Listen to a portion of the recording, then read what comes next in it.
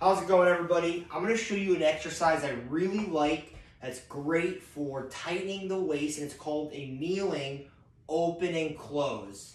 So, you're going to be on all fours here in a flat back position, and what we're doing is we're pulling our hand through.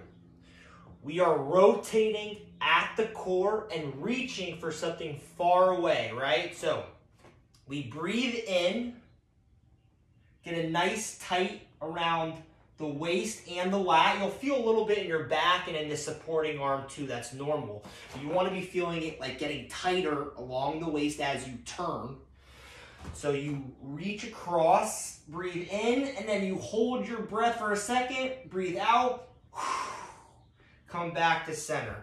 Breathe in, hold, breathe out, complete the breath back. It's so important you complete the breath before you come back to center. So breathe in, breathe out, back to center.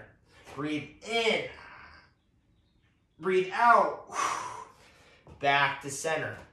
And you're gonna do this for the allocated amount of times.